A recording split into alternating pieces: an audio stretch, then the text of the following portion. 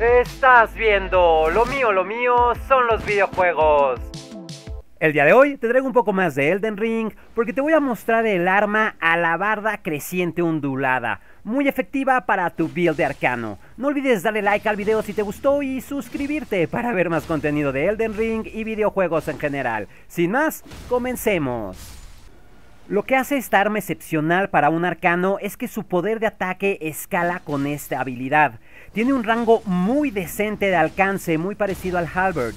Pero lo que la hace interesante es que su rango de escalada en arcano es ese, el máximo. Lo que si eres full arcano vas a hacer un daño tremendo.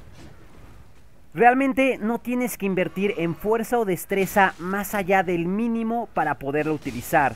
Pero eso no es lo mejor ya que como no tiene efectos pasivos, ya sea de sangrado o ningún otro tipo extra de daño, podemos utilizar cualquier grasa, ya sea de fuego, veneno o mejor aún, una de sangrado. También, si tú estás más en magia o hechicería, puedes meterle algún encantamiento a tu arma que le dé un buff y la haga más poderosa. Simplemente esta arma se puede adecuar perfectamente a tu build por las características de la misma. Sin embargo, tiene un contra, y ese es que no puedes cambiar la ceniza de guerra. Y la habilidad que trae no es mi favorita, es el Spinning Slash. Es bastante lento y realmente no haces tanto daño. De pronto te conviene más hacer ataques de salto. Estos van a bajar mucho más y son mucho más rápidos que el Spinning Slash. Es este que justamente me acabas de ver hacer. Personalmente te recomiendo utilizar esta arma en tu mano secundaria y así sacar todas sus ventajas, mientras que en tu mano primaria o arma primaria utilizar otra arma con una mejor ceniza. Y sí, ya sé lo que vas a decir, pero boom shakalaka, te estoy viendo matar a los enemigos, estás eliminando enemigos muy débiles y realmente no les estás bajando mucho. Eso es porque mis halberds apenas son más 8, no las he llevado a más 25 y observa eso, más 8 y le bajé la mitad de la vida a este mob con un golpe de brinco. Nada más imagínate el daño espantoso para tus enemigos que les vas a hacer cuando la lleves a más 25. Para poder utilizar esta arma vas a necesitar 12 puntos de fuerza, 12 puntos en destreza y 20 puntos en arcano. En cuanto la obtengas, su escalada va a ser rango B.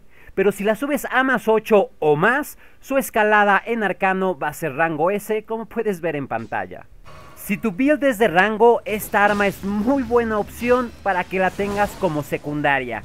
Y si tu build es de melee, esta es muy buena opción para tenerla en las dos manos como secundaria y bien como primaria si no te molesta tanto su ceniza de guerra. Para encontrar esta arma, lamentablemente la vamos a tener que farmear. Y para eso tienes que venir a este sitio de gracia, las ruinas caídas del lago, donde está el icono de mi personaje. A un poquito al este nos vamos a encontrar a dos mobs que justamente utilizan esta arma y si los eliminamos tenemos una chance de que no la suelten. Personalmente a mí no me tomó mucho tiempo, me tomó unos 20 minutos de estarlos farmeando y con eso ya saqué dos de estas armas. Simplemente elimina estos dos mobs, si no te la sueltan, regresa al sitio de gracia o bien haz un viaje rápido y vuélvelos a farmear hasta que las obtengas.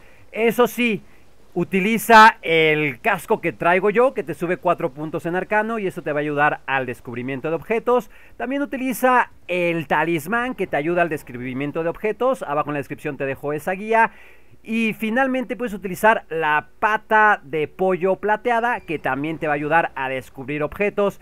Aunque si utilizas este objeto no vas a poder hacer el viaje rápido ya que se te van a acabar los efectos y vas a tener que estar corriendo como yo lo he estado haciendo en este clip que te estoy mostrando.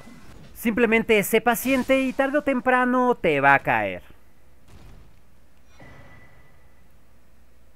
Cuéntame abajo en los comentarios qué te parece esta arma, ¿la has probado? ¿Te llama la atención? Yo realmente la veo muy efectiva para las builds que son 100% arcanas. Por mi parte es todo, muchísimas gracias por verme, hasta la próxima.